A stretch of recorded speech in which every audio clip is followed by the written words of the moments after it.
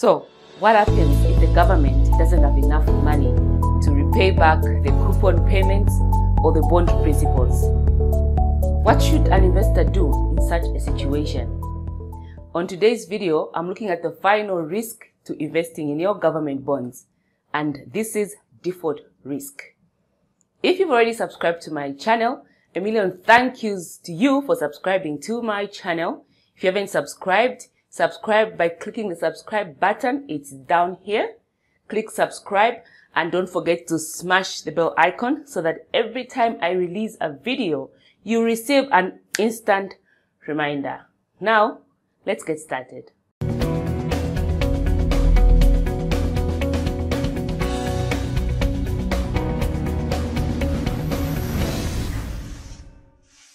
Hello there, entrepreneurs, and welcome to another episode of the Ndalama Insights Business Show with Mukonki Mukonkela, where we turn your challenges into actionable insights. Today, I'm looking at default risk. What happens if the government is, is unable to pay their obligations on the bond?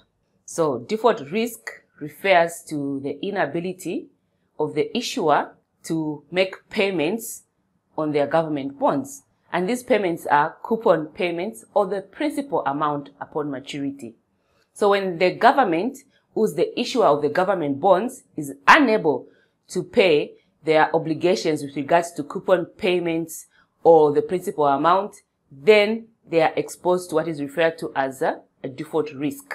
And investors have to be aware of this default risk. Credit rating agencies such as Moody's, Standards and Poor or Fitch normally allocate a credit rating to a creditor.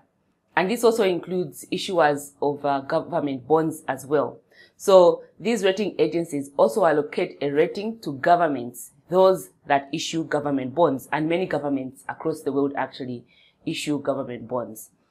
So when you go to a credit rating agency's website, such as Moody's, you will be able to find a rating for your country in terms of what, um, you know, how they've assessed the credit risk or default risk of your country. There are so many factors that they consider. They look at the economic performance of the country, the political stability, the liquidity, their current debt, you know, uh, amount that the country is owing, and so many other factors. So they look at these factors in order to allocate a credit rating to a country. And credit rating agencies have got different ways in which they actually, you know, allocate a credit rating or they use different, um, uh, you know, styles of, of credit rating. One style that they use is using the alphabet. So they use the letters on the alphabet to allocate a credit rating. For Moody's or Standards and Poor, they use the AA or triple A's all the way up to D's. So if your country is allocated a triple A, it means that the credit rating for that country is pretty good. If you are allocated uh, just two A's, it means it's okay. And if you are allocated a B, it means your credit rating is medium risk.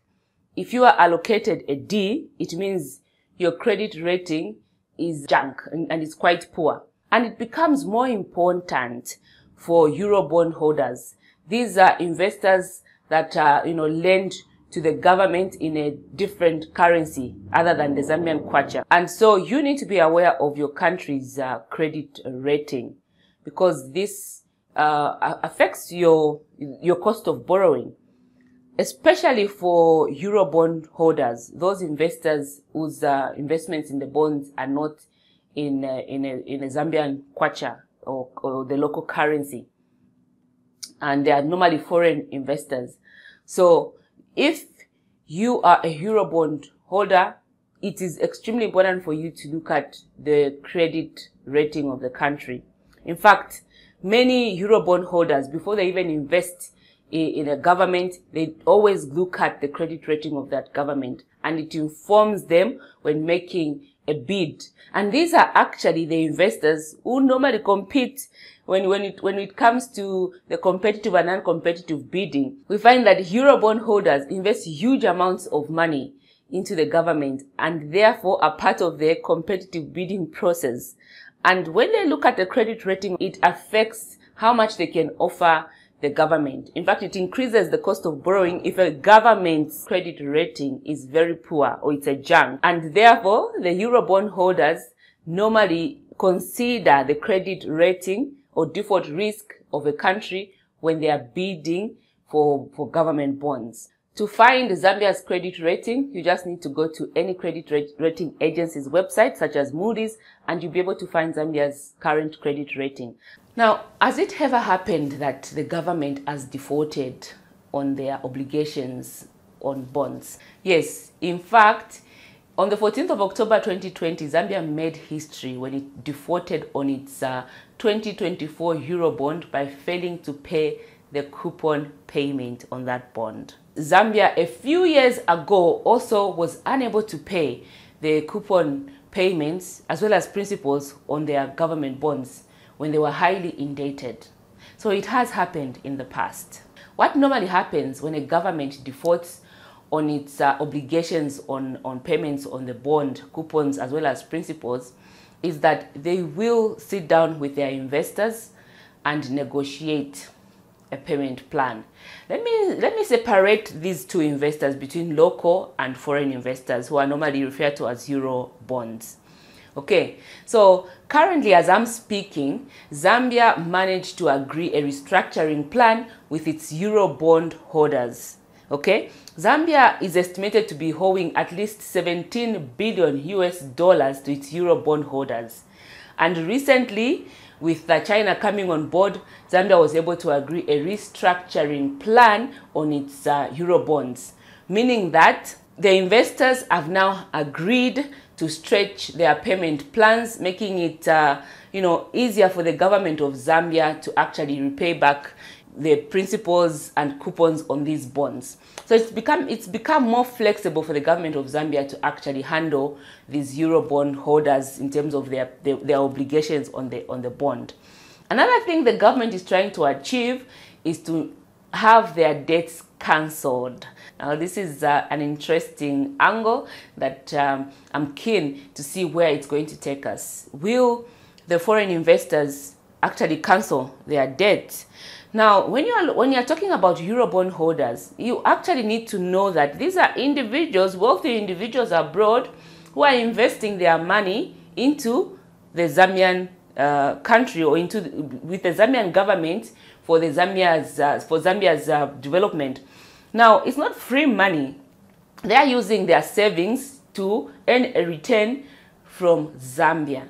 Okay, so as to whether these investors are going to agree to cancel their debt is something that um, you know we are all looking out to see how it's going to turn out. So with euro bond holders, government has restructured the debt. With local bond holders, the risk is much lower than the euro bond holders. And uh, what normally happens with uh, if the government is about to default on the local bondholders is that they will again negotiate with the local investors and agree a restructuring plan, possibly roll over their uh, payments to future periods. So they would agree to say, we'll roll over your coupon payments as well as your uh, uh, your as well as your principal amounts to a future period. So they will agree with their local bondholders to agree to roll over the payments on the coupon as well as the principal amounts. Okay, now many people think that when the government doesn't have enough resources, they can simply you know, ask Bank of Zambia or the central bank to print more kwachas so that they are able to meet their debt obligations. However, it's important to note that it is not that easy to, for a government to make a decision to print money because printing money actually results in inflation, a huge increase in inflation, resulting in the prices for goods and services going up, and as a result, having an adverse effect on the government's citizenry. And this is the last thing the government wants to achieve. And um, you know, Zimbabwe is a good example of um, how printing money affects the country. Zimbabwe's inflation flew off the roof when they decided to take the route of printing money to pay for their debt obligations as well as to pay for their for their government projects and um, this is a decision that resulted in Zimbabwe's currency you know losing its value actually it's been thought that for a Zimbabwean in the 2006s for for for for you to buy a loaf of bread in Zimbabwe you had to carry a wheelbarrow of uh, Zim dollars to just go and buy one loaf of bread. And so printing money to meet debt obligations is the last option the government actually looks at. Many people think it's as easy as come on let's just print the kwachas no it is not as easy as it seems so what happens when you know about you know all these risks that I've been talking about in this video as well as my previous two videos? You see, when you when you're looking at um, assessing an investment, don't just look at the good aspects, the returns that you're going to make on your investment. You also need to be aware of the risks that you're going to face. It's more like when you are taking medication, you know you are going to feel better after drinking Panadol, right? But you also need to be aware of the effects Panadol is going to have on your body so that you are ready for those. Okay, and when it comes to investing, it doesn't matter whether it's a government bond, it's in property, it's on the stock market, you need to be aware of the benefits as well as you know the advantages or the disadvantages of investing or taking a certain investment um, vehicle and so when I've when looking at these three risks, it's important for you to understand that you are now enlightened. Now, how do you take them into account when you're actually doing your investment in the government bond? So we spoke about interest rate risk, we spoke about uh, default risk, we, we spoke about inflation risk. When you are making an investment in government bonds, consider these risks. Are they risks that you're able to afford to take? Or how can you minimize your exposure to these risks? Okay, uh, there, this is your time now to do your research. You could consider investing in bonds of shorter term durations to reduce your exposure to inflation as well as interest rate risk. You could consider staggering your investments such that you are investing just in two-year bonds every once in a while. So you could say, this month I'm investing 50,000 kwacha in a two-year bond. After two months, you could invest, invest in another two-year bond with another 50,000 kwacha and so on. Always look at diversifying your investment. It's not a must that you should just invest in the bond. You could look at other investment vehicles. The stock market, yeah, Zambia is a bit tricky, but hey, we're going to look at other you know, stock markets as well because we want to get the best return on our investment, right? So the stock market, whether in Zambia or abroad, is a good option for you to look at. You could look at investing in property. I've done videos on that and um, there are other YouTubers that are actually looking specifically at property investment. Take a look at those as well. And so this is how you take into account your exposure to, you know, risks of investing in government bonds. Well, this is all I had to share. If you liked today's video, don't forget to give it a like button. If you enjoy watching my videos, you've been here a number of times, don't forget to subscribe to my channel by clicking the subscribe button. It is up here, click subscribe. And uh, don't forget to smash the bell icon so that you can be reminded next time I release a video. Thank you so much for watching and see you next time.